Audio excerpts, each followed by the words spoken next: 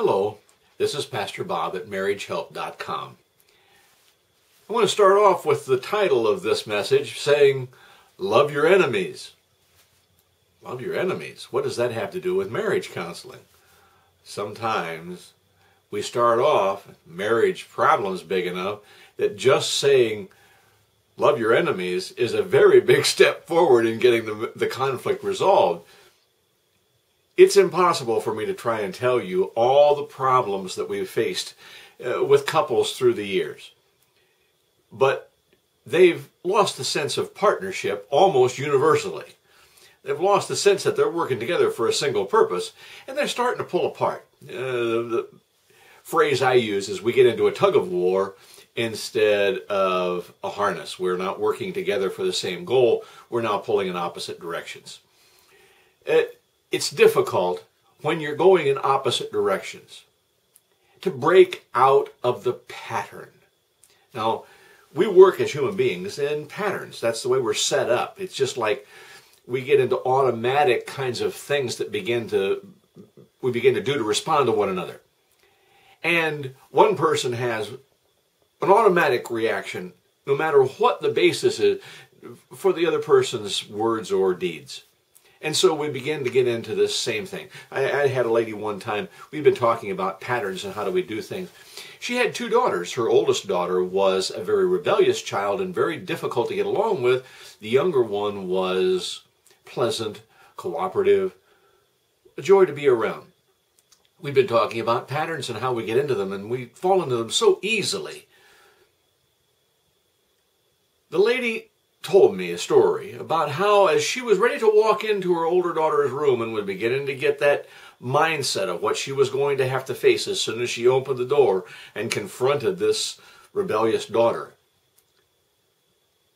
she said, I'm going to play a game with myself. Instead of thinking that I'm getting a hold of the door handle to go in and talk to my older daughter, I'm going to pretend that it's my younger daughter's bedroom. She did. Opened the door and responded with the same tone of voice, the same attitude, the same set of feelings as she might if she was entering her younger daughter's bedroom. She reported to me that that was amazing, the difference that happened. The older daughter didn't respond automatically by throwing a fit. You see, when one person or the other decides to love your enemies, Jesus had that radical concept he taught in the Sermon on the Mount.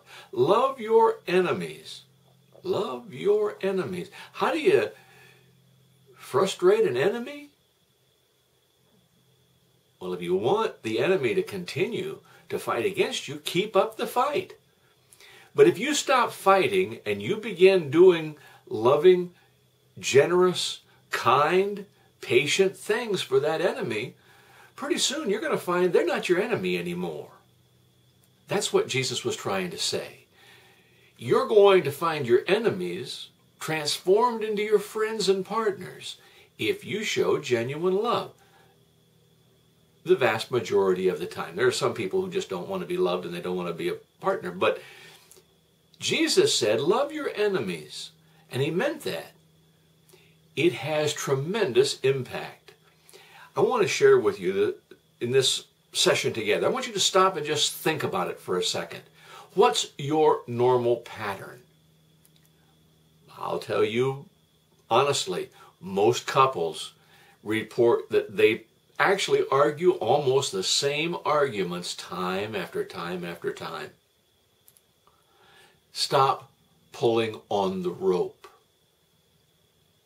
just for today. Stop pulling on the rope like you've been doing. I had a couple one time ask me this. We've been seven years in this tug of war situation. How do we stop?